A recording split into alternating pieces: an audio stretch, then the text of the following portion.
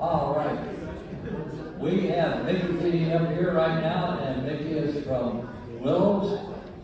She's been around the West Open off and on for almost since its inception, I think. Got Finley Brett on the guitar this side, Eric Anderson over there, and Tom Spence on the bass. Arkansas County, Morning Stars of a little burnt potato for the Judith Children's. Take it away.